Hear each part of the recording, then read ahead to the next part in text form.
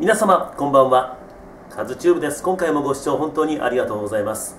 えー今日日曜日でございます、えー今日背中から帰ってまいりまして今日4時過ぎに終わったんだけど僕はその後ちょっとあの九条で あの球場の近く九条でご飯を食べてまして 今帰ってまいりました。オリックさん負けましたね0対3まあ連敗が止まった後のゲームが大切ということを中島監督もおっしゃっていたんですが、まあ、今日のゲーム、まあ、マストウィンのゲームだったんだけども惜しくも、えー落としてしまいました、えー0対3というスコアなんだけどもねあの9回の表の2点これが効きました。でまずは先発、曽谷竜平投手。あの今日はね初回にいきなり岡選手に2球目のまっすぐを捉えられて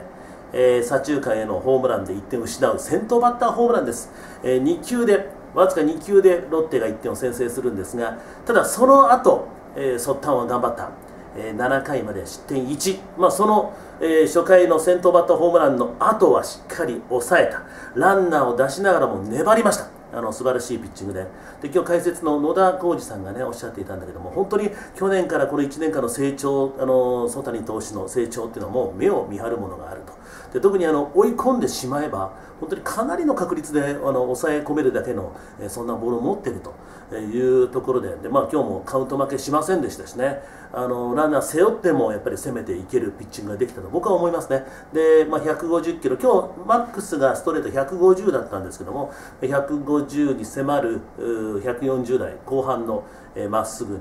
137、8、140ちょっとのこのスプリット、フォークボールですね、であとはこの横に大きく曲がるスライダー、まあ、この3本を軸に、えー本当に素晴らしいピッチングだったと思います、あの一つ一つのボールの精度が高いと、えー野田さんもおっしゃってて、まあ、去年はそのストライク取るのがまあ精一杯というところがあったんだけど、今はもう普通にストライク取れているし、狙ったところにも投げ込めているしということで、えー彼の成長、これはもうそう簡単にあの普通に投げていれば、打たれるピッチャーじゃもはやないねという話をされてましたね、それだけ素晴らしいピッチングだったんだけども、さあ、あとはじゃあ打線の援護ということになるんですが、相手、種市投手も良かった、えーまあ、種市投手の場合はやっぱりこの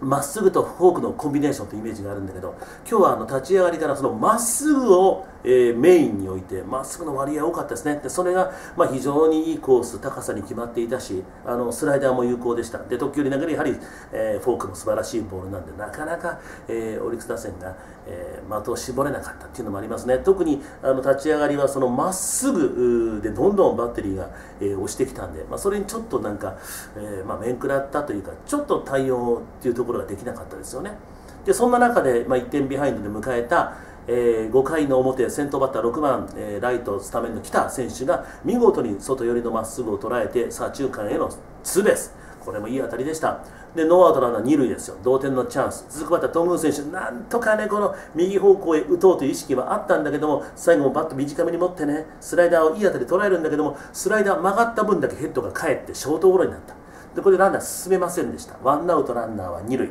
でここでバッター杉澤選手の打順なんだけどここで中島監督が勝負をかけた。代打中川圭太を送った。さあ、啓太頑張れっていう場面ではあったんだけども、セカンドフライでツーアウト。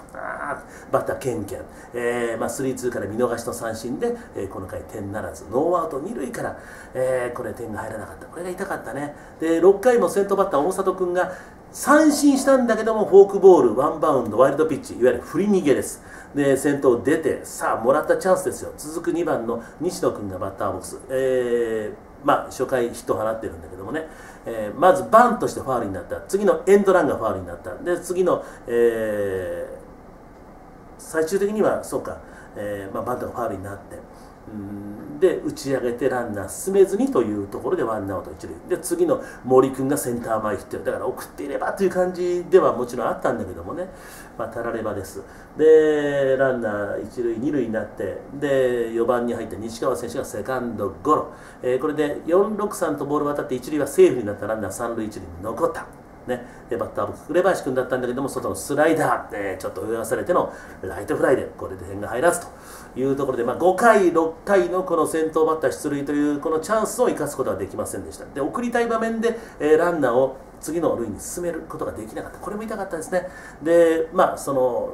まあ、でも相手もねいいピッチャーなんだってあの種市投手が。でまあそんな感じで7回まで1対0のままいく。でここから継投ですよ。で8回の表マウンドに上がったのは小田島投手。ソッタンは7回失点1素晴らしいピッチングでした。小田島君があの少しこうボールがまあ、低めに行かないっていうあの野田さんの解説があってね。今日は思うところにコントロールもできていなかったピンチを背負った。ランナー三塁一塁バッター佐藤俊也。外の高めのボールをうまく捉えられて三遊間強い打球のゴロワンバウンド難しい体勢でボールを取った。紅林二塁にそのまま難しい体勢で投げる。アウト。ファインプレーですよ。素晴らしいね。えーまあ、今日大里君が後ろ向きでセンター前のフライを取るというプレーもあったんだけど昨日、今日とやっぱり守備よく守ってるんだオリックスもね。で、まあ、そのピンチをまあ出してで9回の表に、えー、この吉田輝星投手がマウンドに上がるんだけどもツーアウトまでね行ってツーアウトランナー一塁というところからちょっとこうねこれも解説野田さんおっしゃってた急にこうバッテリーの間合いが合わなくなった。それまでポンポンと、まあ、ランナー出したんだけどもツーアウトを取れた、ね、でその後のところで、えー、なんかこう追い込んでから合わなくなってでフォアボールを出してしまった。で続く岡選手にも、えー、デッドボールで満塁で小川龍成選手には難しい。内側のボールうまく打たれたね、えー、レフトへのタイムリーヒットは2点タイムリー。3点目が入って、まあ、これでまあ苦しくなったというところ。ロッテも8回から継投に入って8回は横山、えー、9回は鈴木翔太がしっかり抑えて試合終了ということになりました。まあオリックスにとっては残念な、えー、敗戦にはなりましたけれどもまあそうは言ってもしょうがない。またあの火曜日から出直していきましょう。まあでも連敗止めたんでね、えー、次の3連戦ライオンズを迎えての3試合ではあるんだけどもそこでしっかり勝ち越して、えー、上を目指していきましょう、えー、というわけで今回もありがとうございました。残念ながら負けたゲームでした。それでは。